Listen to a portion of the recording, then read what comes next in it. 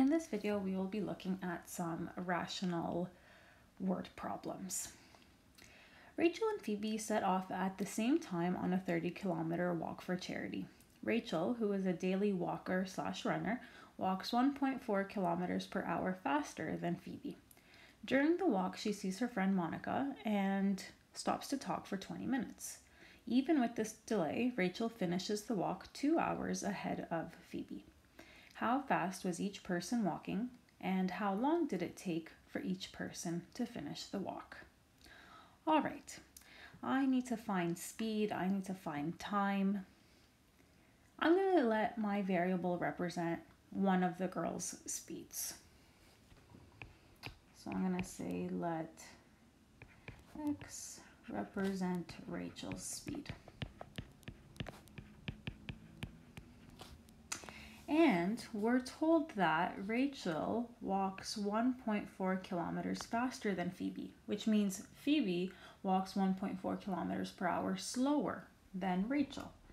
So if we know that, we could say let x subtract 1.4 represent Phoebe's speed. Okay. Now, we're told something about their times as well. So I'm going to take the information and try to make an equation out of it without using my variables just yet. Just try to wrap my head around what's going on. So during the walk, Rachel sees her friend Monica and stops to talk for 20 minutes. So whatever her Rachel's time would be, we have to add on 20 minutes. And even with the delay, Rachel walks two hours ahead of Phoebe. She finishes two hours ahead of her, which means Rachel's time, along with the 20 minute walk, along with the two hours, if we add all of those up together, then we'll get Phoebe's time. So Rachel's time plus 20 minutes out of 60, so a third of an hour, plus the two hours, all of that will give us Phoebe's time. Okay, now we have this idea, but how can I use the speed to come up with an expression to represent the times? Well, we just have to use our speed distance time formula. We should know that speed is equal to distance over time. And if we ever forget, think about your speed when you're driving, for example. You're driving, let's say 80 kilometers per hour. Kilometers distance per hour time, so d over t. If we know that this is true, we could cross multiply this to get the fact that distance is equivalent to speed times the time. But I want time. So if I divide both sides by speed, then here's a useful formula for us time is equal to the distance divided by the speed. And we know the distance the girls walked. It's 30 kilometers. And we know their speeds in terms of x. So now we can create an equation out of this. Rachel's time will be total distance is 30 over her speed. Her speed is x. Then we add a third of an hour and we add two hours and we get Phoebe's time. Phoebe's time is the same 30 kilometers, but her speed is x minus 1.4. Okay, now we have our equation and we're ready to solve. So I'm just going to get myself a common denominator here. This is over 1. And if I have an x and a 3 in the denominator, I need 3x as my denominator. Here is what I'm multiplying. So that means we have a 90 plus 1x plus 6x all over 3x. I'm just going to collect my like terms in that numerator and then I'll be ready to cross multiply. Okay, so these are going to get multiplied which means I'm going to have to do some proper distributive property here. And then the 3x and the 30 will get multiplied. So now, to do my distribution here, I'll have 7x squared minus 9.8x plus 90x minus 126 equals 90x. When I bring this 90x over to the other side, it'll become negative, so the 90x's cancel out. So what we actually have is 7x minus 9.8x minus 126 equals 0. Now you can try to factor this or do quadratic formula. Because of that decimal in the 9.8, I'm going to do quadratic formula, although I do think this is factorable. So 9.8 plus or minus negative 9.8 squared minus 4 times 7 times negative 126 all over 2 times 7. And when we clean up the square root part, we get 3,624.04 under the square root. And now we can get our two options for x. And when I do the plus version, I get positive 5, which makes sense. When I do the minus version, I get negative 3.6.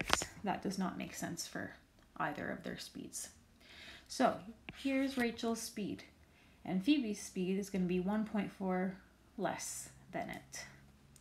So therefore, Rachel's speed is 5 kilometers per hour, and Phoebe's is 3.6 kilometers per hour. And in terms of their times, for Rachel's time, it's going to be 30 divided by her speed. So 30 divided by 5 is 6 hours. So Rachel's time is 6 hours. And Phoebe's is the 6 hours plus the extra 2 hours, so 8 hours, plus the 20 extra minutes that Rachel spent talking. So Phoebe's is 8 hours and 20 minutes. And there we are, a little distance, speed, time type of question that results in a rational function and rational equation. Next, Sandra can paint a kitchen in six hours. Roger can paint the same kitchen in seven hours. How long would it take for both working together to paint the kitchen? Okay, well, first Let's start with the let statement. Let x represent time it takes for both of them to paint the kitchen. Now, Sandra can paint the kitchen in six hours, which means in one hour, so for Sandra, in one hour, she paints a sixth of the kitchen because it takes her six hours to paint the full kitchen. For Roger, it takes him seven hours to paint. So he'll paint a seventh of the kitchen in one hour. And together, they take X hours to paint the kitchen. Together, in one hour, they'll paint 1 over x of the kitchen.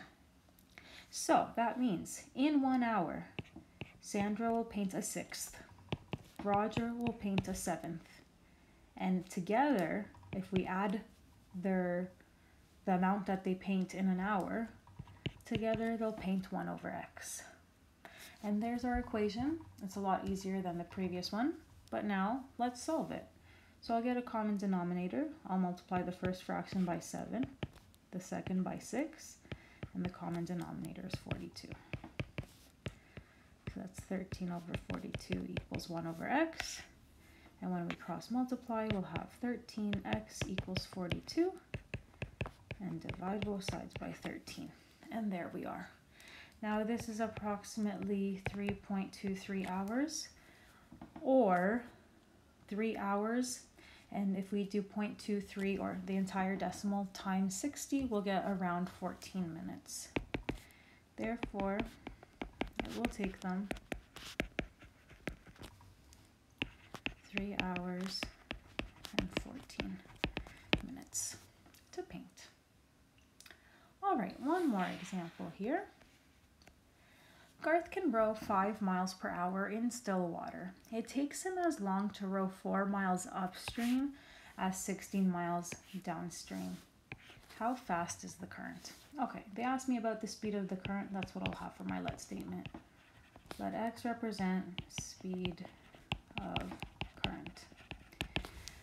Now, we've already established that time is equal to distance divided by speed and it takes him four miles upstream, the same amount as six mile, 16 miles downstream. So let's see. Four miles upstream. Now, what is Garth's speed when he's going upstream? Well, he's going five, five miles per hour, but when he's going upstream, the current is going against him.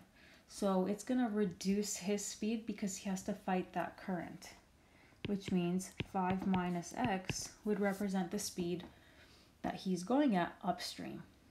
Downstream, we have 16 miles, and the speed, because he's going downstream, will be his speed plus the speed of the current because it's pushing him forward faster.